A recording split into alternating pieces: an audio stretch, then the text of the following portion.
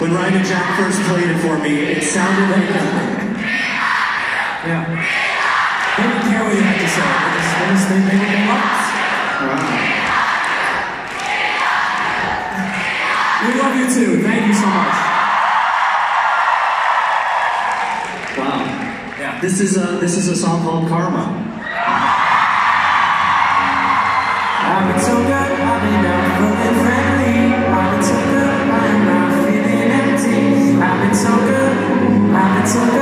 vencer.